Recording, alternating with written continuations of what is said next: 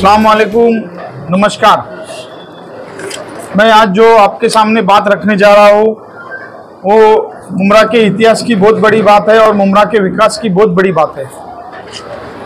जो कि आज आप देखेंगे कि थाना में हमारे महाराष्ट्र के मुख्यमंत्री आदरणीय एकनाथ शिंदे साहब, इनके, इनका जो एरिया है, वागले स्टेट वागले स्टेट और ये मुमरा। ऐसा परिस्थिति था कि वहाँ पर भी बहुत सारे अनधिकृत बांधकामें थे। और उस वक्त मुमरा में भी अनधिकृत बांधकामें बनी। उस वक्त उस दौर में। महानगर पालिका बनने से पहले या महानगर पालिका आने के बाद बहुत सारे ऐसे बांधकाम हैं जो बन गए। और वो उनको उस बांधकाम को 30, 35, 40 साल हो गए। अभी वो जो बांधकामें थी जो इमारतें थी ग्राउंड प्लस फोर की थी या फाइव की थी तीन की थी दो की थी वो जो बांधकामें थी वो अनधिकृत बांधकामें थे वो जुनी हो गई थी और जो इमारतें थी वो जर्जर हो चुकी थी, थी।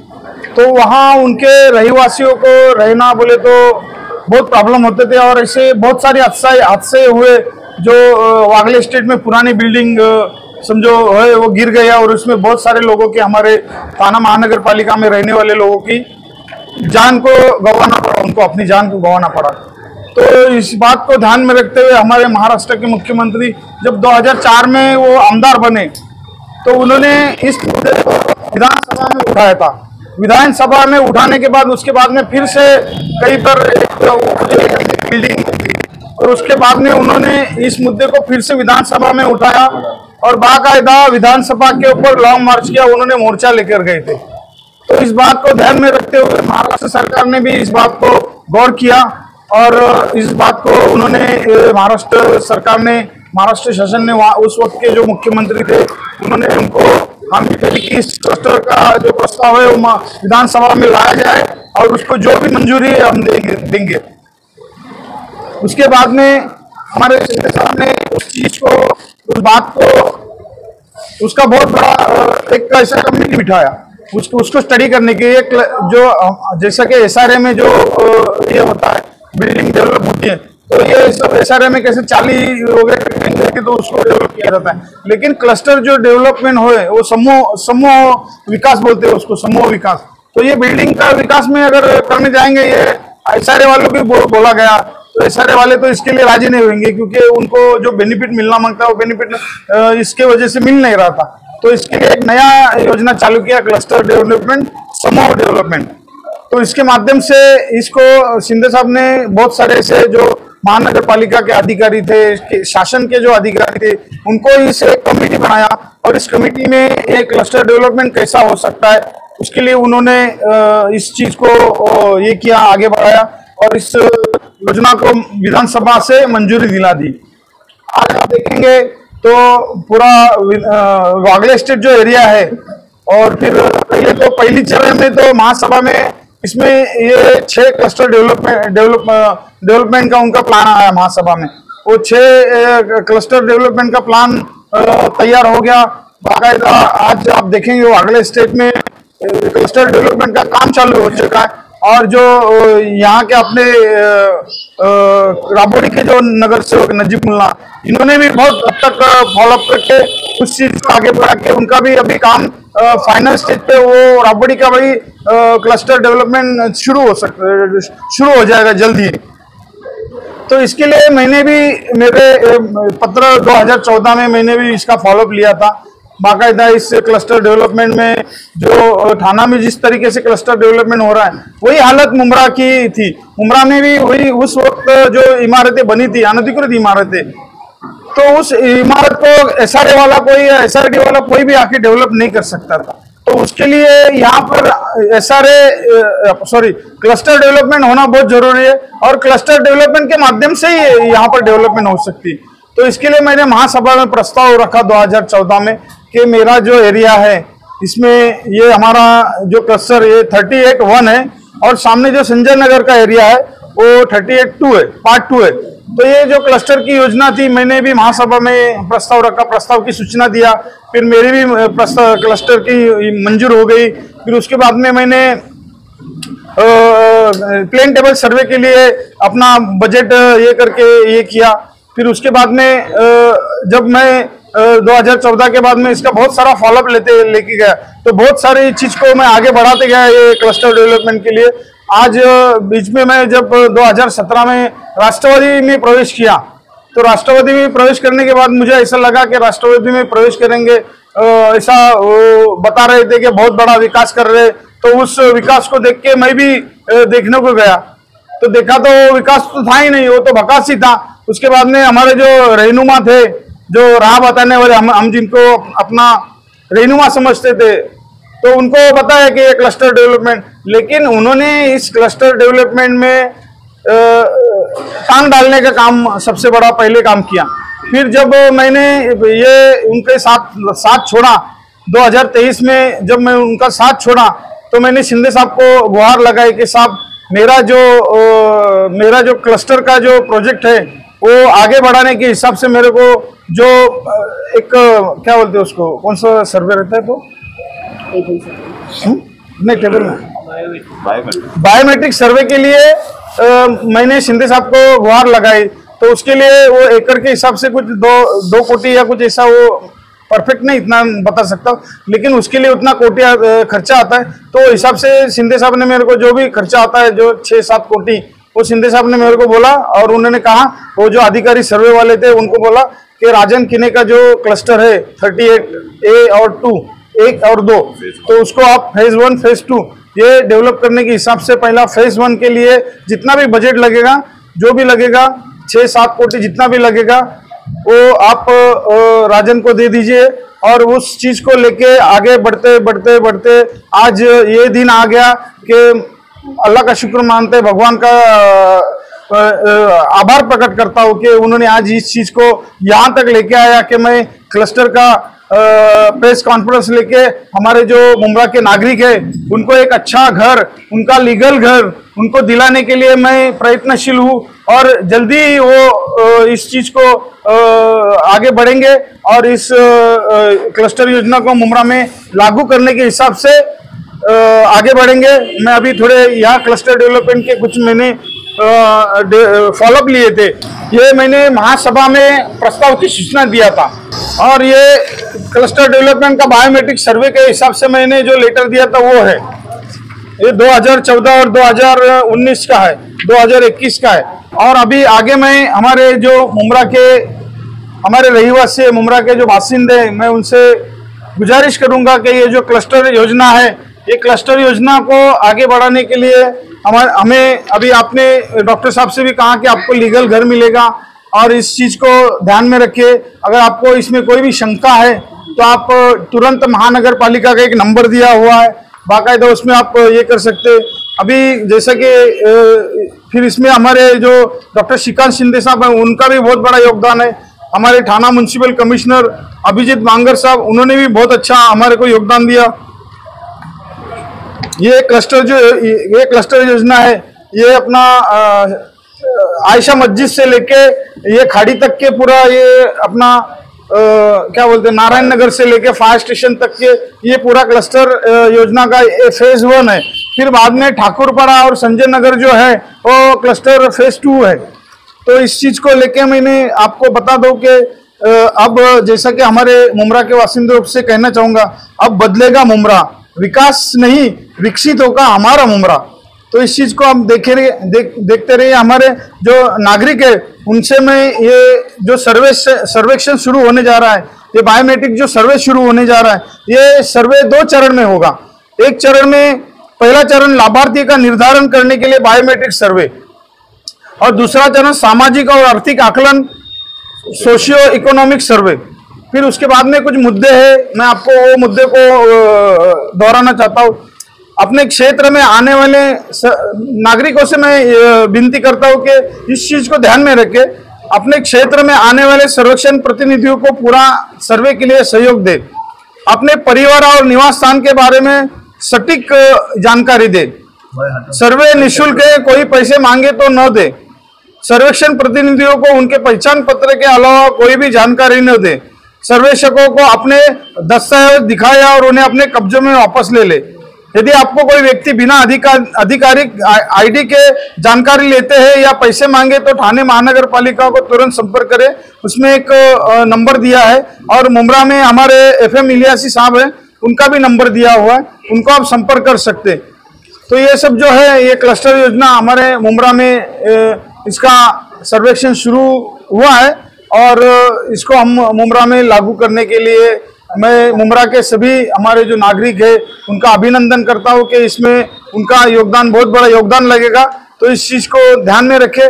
और मैं और एक बहुत बात बोलना चाहता हूँ। अगर विरोधी के विरोधी के ऊपर ये बहुत विरोधी, इसमें विरोधी ने बहुत अड़ंगा डालने की कोशिश की, और भी आगे उन लोग डाल सकते हैं अड़ंगा लेकिन इस क्लस्टर योजना का आपको बताओ ये पूरा क्रिस्टल क्लियर है।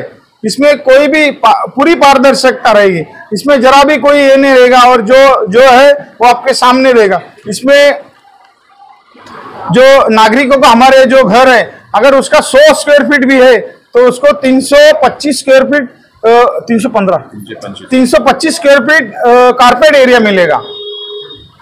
और जो 500 के ऊपर जो घर है 500 के ऊपर जिसका घर है उसको थोड़ा जो अपना रेडी रेकनर है यहाँ का जो एरिया, का उसका वो कंस्ट्रक्शन कॉस्ट देके उसको ज़्यादा अगर बड़ा उसका है तो उसको ऊपर का जो कॉस्ट है उसको देके उसको चीज़ को वो मिल उसका घर मिलेगा। तो इस चीज़ को ध्यान में रखते हुए विरोधी इसके लिए बहुत अफवाहें फैलाएँगे इसको बहुत बड़ा कुछ ना कुछ ये करने का कोशिश किया करेगा। अगर आपको इसमें किसी को भी कुछ शंका है किसी को भी अगर कुछ ये रहता है तो वो हमारे को तुरंत ये करे, उसको उसकी शंका का निरसन किया जाएगा। महानगर पालिका के आला अधिकारी यहाँ पर रहेंगे, उपस्थित बाकायदे सर्वे चालू है। तो इस चीज़ को आप ध्यान में रखें, कोई भी क्या बोलते हैं उसको? हाँ अपनी अकल लगाएँ अफवाह को, अफवाहों के ऊपर ध्यान न दें। कब से ये सर्वे चालू होने कोई कोई? तो भी एक ही पूछा। दादा ये बताइए सर्वे कब से चालू होने वाला है और क्या संदेश रहेगा यहाँ पे सर्वे अभी फ़िलहाल तो सर्वे दो दिन से शुरू हुआ है और नागरिकों का भी बहुत अच्छा रिस्पांस है। नागरिकों ने भी इसके लिए बहुत सारी खुशी जताई है। मैं उनका आभार प्रकट करता हूँ कि इस इस तरीके से पूरे मुमरा में जो है सहयोग मिले और मुमरा के जो इनलीगल बिल्डिंगों में रहते हैं एक मुमरा के ऊपर एक जो बोलते हैं कि कलंक है या दाग है इनलीगल का तो वो मिट जाएगा और हमारे सभी जो छोटा मोटा गरीब और अमीर जो भी नागरिक है, उसको क्लस्टर में अच्छा लीगल घर मिलेगा। फ़ेज़ वन के लिए शुरुआत फ़ेज़ टू के लिए फ़ेज़ वन और टू के लिए अभी ज़्यादा आप जैसा कलेक्शन योजना ला रहे थे जो अभी लीगल बांधकाम चल रहे जो अभी अभी नई नई बिल्डिंग बनी उनका क्या होगा? जो नई बिल्डिंगें बनी उनका भी बाकायदा सर्वेक्षण होएगा और बाकायदा उनको भी जो उनके उस बिल्डिंग में अगर उनको नई नई बांधकाम में घर है तो उनका भी सर्वेक्षण होगा उनका भी बायोमेट्रिक होगा उसके बाद में उनको भी घर मिलेगा। जो लोग बेघर हो गए दादा बिल्डिंगों को इलीगल बताकर और कई लोगों के घर तक खाली कराए गए तो उनका क्या जो इस वक्त रास्ते पे है? क्या बोलते हैं? कई ऐसे लोग हैं जो रास्ते पे अभी कई बिल्डिंग है ऐसी है जो पूरी खाली करा के उनके जो रहवासी उनको निकाल देगा। बाकायदा ऐसी जो बिल्डिंग है उनको रहवासी को खाली करके निकाला गया है। बाकायदा वो बिल्डिंग के एरिया का सर्वे होगा। वो बिल्डिंग में कितने लोग रहते थे और बाकायदा उनका बायोमेट्रिक होके उनको उनको घर उनका मिलेगा। दादा एक- एक एकड़ की ज़मीन लगती है क्लस्टर के लिए यहाँ पर कई जगह प्राइवेट है तो कई जगह गवर्नमेंट की जगह तो उसके लिए क्लस्टर किस तरीके से वो तो वो तो वो, वो तो सब पिक्चर क्लियर है। गवर्नमेंट को अगर जगह है तो जैसा सिडको में साढ़े बारह टक्का दिया जाता है जगह मालिक को, यहाँ पर अगर गवर्नमेंट जगह मालिक है तो गवर्नमेंट को मिलेगा उसका साढ़े बारह टक्का अगर कोई जगह मालिक है तो जगह मालिक को साढ़े बारह टक्का मिलेगा। तो इसके लिए कोई शंका कुशंका कुछ भी नहीं। इसमें जितने जितने क्या बोलते जितनी त्रुटियाँ थी, जितनी भी खामियाँ थी, वो एक एक खामियों को शिंदे साहब ने इस तरीके से, उन्होंने स्टडी करने के लिए आदमी बिठाए थे और इस चीज़ को एक एक चीज़ को एक एक एक एक छोटी शंका का भी उन्होंने निरसन किया। तो ये सब चीज़ें हैं। इसमें क्लस्टर योजना के लिए जो हम लोग जा रहे हैं, इसमें हमारा नागरिकों का सबसे बड़ा योगदान है। और ये नागरिक जो हमारे योगदान देंगे उसके बाद में ये क्लस्टर योजना सक्सेस हो सकती है। इसमें एक मिनट उनके उनकी जानकारी के लिए वो पाँच एकड़ नहीं है ढाई एकड़ का ढाई एकड़ का एक ढाई एकड़ में आप कहीं भी क्लस्टर ये कर ढाई हैं एकड़ में मागे एक- आहे. माझा एक प्रश्न आहे टप्प्यामध्ये तुम्ही सांगितलेलं घर आणि व्यवस्थित आता फक्त हे जे बायोमेट्रिक सर्वे आहे हे फक्त नंबरिंग सुरू करणार आहेत. म्हणजे सध्या नंबर घेणार किती? म्हणजे टोटल यांची आपल्या एरियामध्ये किती लोक राहतात आणि किती लोक? मग त्याच्यानंतर पूर्ण बाकीच्या नंतर पुढची प्रोसेस सुरू होणार. आणि जे आता मुंबईमध्ये टीएमसी आणि इलिगल आणि टीएमसी प्रकार आहे यामध्ये जे आहे ते क्लस्टर टीएमसीला जसं देणार तसं अनधिकृत सॉरी इलिगलला पण भेटणार. म्हणजे इलिगल नाही त्याच्यामध्ये कसं मी सांगतो. इलिगलसाठी जे आहे ना तीनशे पंचवीस हे फिक्स आहे.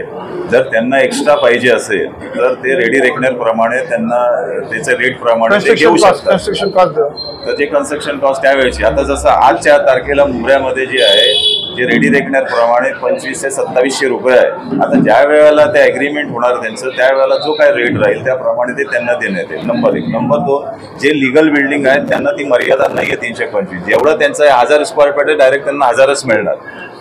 तर लिगलसाठी काही मर्यादा नाही आहे त्यांचं जे आहे ते त्यांना मिळणार. फक्त इलिगल जे आहे त्यांच्यासाठी ती मर्यादा आहे. कारण काही गोष्टी अशा आहेत त्याच्यामध्ये कारण ती बिल्डिंग इलिगल आहे.